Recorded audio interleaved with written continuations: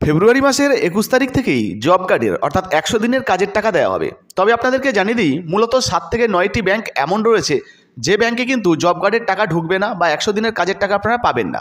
তো কোন কোন ব্যাংকে এই টাকা আসবে না, কারা কারা পাবেন না, এই বিষয়ে কী কী আপডেট এসছে সমস্ত কিছু জানাব। তাই ভিডিওটা একটু স্কিপ না করে পুরো দেখুন। আপনি যদি আমাদের চ্যানেলে নতুন আসেন, অবশ্যই চ্যানেলটিকে সাবস্ক্রাইব করে পাশের বেল আইকনটিকে অন করে রাখবেন। এই ধরনের গুরুত্বপূর্ণ ভিডিও সবার আগে পাওয়ার জন্য। আর ফেসবুক থেকে দেখলে পেজটা ফলো করতে ভুলবেন না। তো চলুন বন্ধুরা, ভিডিও শুরু করা যাক।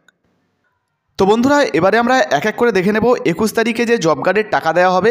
এই জব কার্ডের টাকা কোন কোন ব্যাংকে ঢুকবে না, এই বিষয়ে কী কী তথ্য প্রকাশিত হয়েছে। এক এক করে আপনাদেরকে বিস্তারিত দেখাবো, সম্পূর্ণটা দেখবেন, তবেই কিন্তু বুঝতে পারবেন।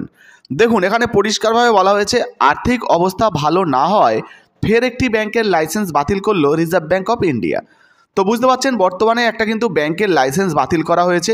শুক্রবার কেন্দ্রীয় ব্যাংক এই সিদ্ধান্ত নিয়েছে। দুর্বল আর্থিক অবস্থার কারণে হিরিউর আরবান কোঅপারেটিভ ব্যাংকের লাইসেন্স বাতিল করে দিয়েছে আরবিআই।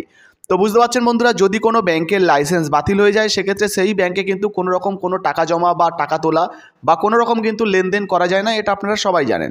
ফলে ব্যাংকের লাইসেন্স বাতিল হয়ে গেলে সেই ব্যাংকটা কিন্তু বন্ধ হয়ে যায় আর বন্ধ ব্যাংকে কোনো রকম কোনো ট্রানজ্যাকশান হয় না। ফলে এই ধরনের ব্যাংকের যদি অ্যাকাউন্ট আপনারা ব্যবহার করে থাকেন, তাহলে কিন্তু আপনাদের ব্যাংকে টাকা আসবে না।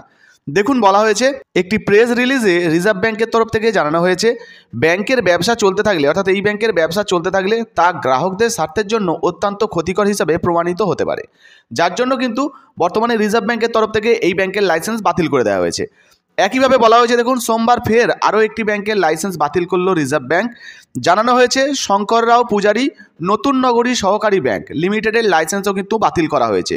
ডিসেম্বর মাসের চার তারিখ দু হাজার তেইশ, ব্যবসা বন্ধ হওয়ার প্রভাবে ব্যাংকটির পরিষেবা বন্ধ করা হয়েছে। ফলে এই ব্যাংকেও যদি আপনাদের অ্যাকাউন্ট থেকে থাকে, সেক্ষেত্রে এই ব্যাংকেও কিন্তু জব কার্ডের একশো দিনের কাজের টাকা কিন্তু আসবে না। শুধু জব কার্ড নয়, লক্ষ্মী ভাণ্ডার প্রকল্প ছাড়া অন্যান্য প্রকল্পেও যদি আপনারা আবেদন করে থাকেন, সেক্ষেত্রেও কিন্তু টাকা আসবে না। এর পরের ব্যাংকটি দেখুন, বলা হয়েছে পেটিএম পেমেন্টস ব্যাংক ফেব্রুয়ারি মাসের উনত্রিশ তারিখের পর থেকে এই ব্যাংকের সমস্ত লেনদেন বন্ধ করে দেবে আরবিআই। তো বুঝতে পারছেন, বর্তমানে আরবিআইয়ের তরফ থেকে কিন্তু নোটিশও দেওয়া হয়েছে, আপনাদেরকে অন স্ক্রিনে দেখিয়ে দিচ্ছি, দেখুন। এখানে কিন্তু নোটিশে বলা হয়েছে যে উনত্রিশ তারিখের পর থেকে কিন্তু এই ব্যাংক, ব্যাংকের যে লেনদেন সেগুলো কিন্তু বন্ধ হয়ে যাবে। ফলে উনত্রিশ তারিখের পরে কিন্তু আপনারা আর টাকা পাবেন না। এবার দেখুন বলা হয়েছে ফলে একুশ তারিখে টাকা দেওয়া শুরু হলেও সবার ব্যাংকে যে একই সময় বা একই দিনে টাকা আসবে এমনটা নয়। ধাপে ধাপে টাকা দেওয়া হতে পারে, ফলে কেউ বা পঁচিশ তারিখ, কেউ বা উনত্রিশ তারিখেও কিন্তু টাকা পেতে পারেন, কেউ বাইশ তারিখেও পেতে পারেন। তো সেই অনুযায়ী যারা উনত্রিশ তারিখের পরে টাকা পাবেন, তারা যদি এই পেটিএম পেমেন্টসের ব্যাঙ্ক অ্যাকাউন্ট ব্যবহার করে থাকেন, সেক্ষেত্রে কিন্তু উনত্রিশ তারিখের পর আপনাদের ব্যাঙ্ক অ্যাকাউন্টে আর টাকা ঢুকবে না। এর পরবর্তীতে দেখুন বলা হয়েছে, নতুন করে একাধিক পরিবর্তনও হয়েছে, যার ফলে ব্যাংকিং পরিষেবায় একাধিক পরিবর্তন এসেছে। এর মধ্যে আরও বেশ কয়েকটি ব্যাংকের লাইসেন্স কিন্তু বাতিল করা হয়েছে। যেমন দেখুন বলা হয়েছে, সেবা বিকাশ কোঅপারেটিভ ব্যাংক গত অক্টোবর মাসের দশ তারিখ থেকে বন্ধ করে দেওয়া হয়েছে এই ব্যাংকের লাইসেন্স।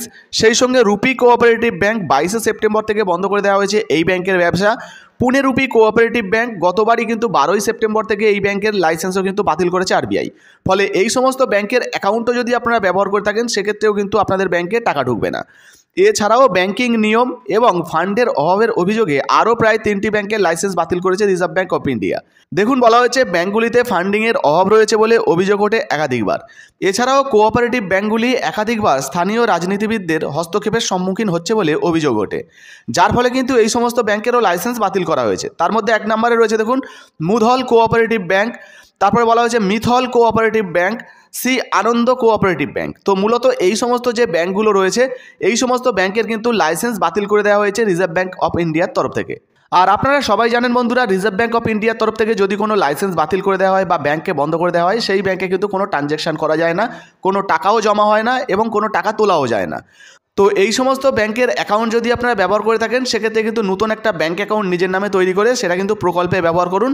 তবেই অন্যান্য প্রকল্পের টাকা আপনারা পাবেন বা প্রকল্পের টাকা পাবেন। অন্যথায় কিন্তু টাকা নাও পেতে পারেন। তো এই ছিল আজকের ভিডিও ভিডিও ভালো লাগলে ভিডিওতে একটি লাইক দিয়ে ভিডিওটা শেয়ার করে দেবেন। আর আপনি জব কার্ডে আবেদন করেছেন কিনা বা কাজ করে রেখেছেন কিনা অবশ্যই লিখে জানাতে ভুলবেন না। ধন্যবাদ।